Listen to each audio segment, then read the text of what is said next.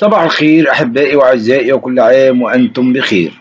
في البداية أشكر كل المشترك القناة. الحمد لله كل يوم بنزيد فوق المية مشترك. وبطلب من كل إخوتي ياخدوا بركة القديس العظيم ماري جرجس والملكة هي العذراء ملكة الملوك أم والدة الإله. النهاردة حديثنا والموضوع ارتدت عن الإسلام واعتنقت اليهودية. من هي بسمة الكويتية؟ بتقول أنا ابتسام حميد الملقبة بالمطربة بالمطربة بسمة الكويتية. أعلن وأعلنت وبتقول أعلن تركي للإسلام وبكل فخر. أعلن اعتناقي للديانة اليهودية. بهذه الكلمات قلبت الفنانة بسمة الكويتية مواقع التواصل الاجتماعي. بعد عشر مقطع فيديو تعلن فيها ارتدادها عن الإسلام واعتناقها اليهودية. بسمة الكويتية أصبحت الترند خلال الساعات القليلة الماضية بعد تصريحاتها وهجومها على الإسلام وأثارت الجدل مرات عديدة بطرق مختلفة حيث قالت مسبقا إنها تحفظ القرآن كاملا وأنها من ضمن العشرة الأوائل في حفظ القرآن الكريم بالكويت. لكنها في نفس الوقت تعشق الغناء والفن. الذي قالت عنه قبل ذلك إنه حراما وتريد أن تتركه. وقالت بسمة الكويتية في الفيديو الأخير أعلن معارضتي وعدم انتمائي لنظام الصباح الذي يرفض التطبيع وحرية الرأي. لا ولاء ولا انتماء. كانت تسمع تسعى بسمة الكويتية لتكون نجمة الطرب الخليجي. لكنها لم تستطع تحقيق ذلك الحلم. فقد اعتزلت لمدة عام كامل وعادت بعدها لتعلن لجمهورها أنها ستكون نجمة الخليج لتثير الجدل من جديد. وخلال فترة اعتناقها الإسلام صرحت بسمة الكويتية بعد تصريحات احتسبت عليها فيما بعد حيث قالت سابقا إن الفن محرم وتتمنى الهداية من الله والاعتزال لكنها في نفس الوقت تهوى الغناء والرقص بشدة. كما قالت بسمة الكويتية مسبقا إنها لا تحب مهنة التمثيل وتعتبرها مهنة صعبة ولا تجدها ولا تستطيع التصنع لتصبح ممثلة مشهورة. من هي هذه الفنانة بسمة الكويتية؟ بسمة هي فنانة كويتية من أصول عراقية ولدت في دولة الكويت لوالدة كويتية. لا تقيم في دولة الكويت الآن ولا تحمل الجنسية الكويتية لعدم توافقها مع شروط حمل الجنسية. اسمها الحقيقي هو ابتسام الحميد ويلقبها المتابعون باسم بسمة الكويتية. وهي مغنية وممثلة اعتزلت ولكنها عادت في عام 2016 هذا مع كل الألم ومع كل الحزن نريد أن نودع الأزمات التي نلقيها نحن. بيقول لك في الأيام الساعات المقبلة مفيش مدارس وأمطار تصل لحد السيول بهذه المحافظات تشهد البلاد وحسب ما أكدت هيئة الأرصاد الجوية حالة من عدم الاستقرار تبلغ ذروتها الساعات القليلة المقبلة. يتوقع خبراء الهيئة الأرصاد أن يسود اليوم الاثنين طقس لطيف نهارا على القاهرة الكبرى والوجه البحري والسواحل الشمالية وشمال الصعيد معتدل على جنوب سيناء وجنوب الصعيد بينما يسود طقس مائل للبرودة ليلا على أغلب الأنحاء.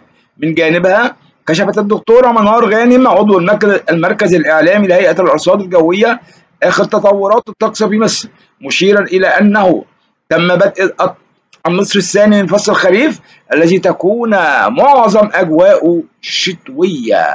حالة من عدم الاستقرار وقالت خلال تصريحات تلفزيونية أن اليوم هو ذروة وحالة عدم الاستقرار في الحالة الأحوال الجوية نتيجة تأثر البلاد بمنخفضات الجو العليا ومنخفض سطحي على البحر المتوسط نتج عنه سقوط أمطار متفاوتة الشدة حتى القاهرة الكبرى وشمال الصعيد. ووجهت نصيحة للمواطنين ببدء ارتداء الملابس الخريفية أو الشتوية الخفيفة بالأخص في فترات الليل وعن الظواهر الجوية. وقالت الأرصاد في بيان رسمي أن هناك فرصة لسقوط أمطار متوسطة على مناطق السواحل الشمالية الغربية وشمال الوجه البحري. قد تكون غزيرة على مناطق من السواحل الشمالية الشرقية. قد تصل إلى حد السيول على شمال ووسط سيناء على فترات متقطعة.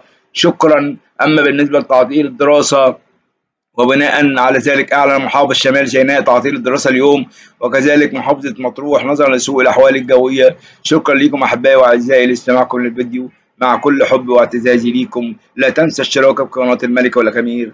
قناتك وتعليقك إن كان إيجابي أو سلبي. شكرا لكم. تحيا مصر. تحيا مصر. تحت ريادة الرئيس عبد الفتاح السيسي. وبصلوات غض قداسة البابا تودروس الثاني. بابا وترك الكرازة المرقسية.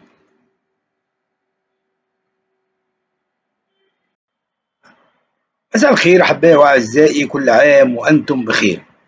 الأمر الذي يفجع جميع البشر وهو لجنة الخارجية بمجلس النواب تطالب بعرض المتهمين في قضية التبشير بالمسيحية على القضاء.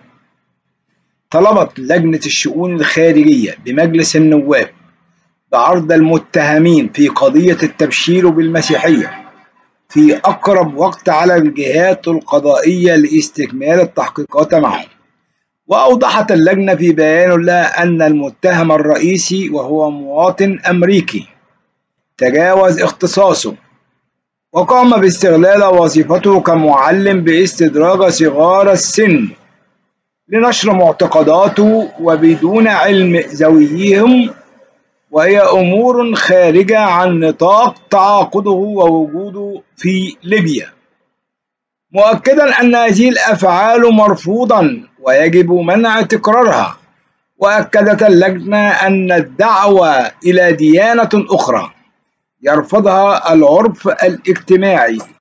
يرفضها العرف الاجتماعي في ليبيا داعيا إلى تجديد القوانين ذات العلاقة. وأشادت اللجنة بالمجهودات التي تبذلها عناصر الأجهزة الأمنية في محاربة الظواهر السلبية المختلفة.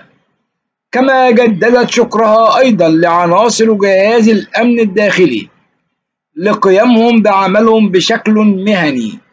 وقانوني وحرصهم على حماية المجتمع الليبي من التهديدات المختلفة التي تواجههم حقا إنها أمور غريبة وأمور عجيبة هل يحق لمسيحي أن يقوم بالتبشير؟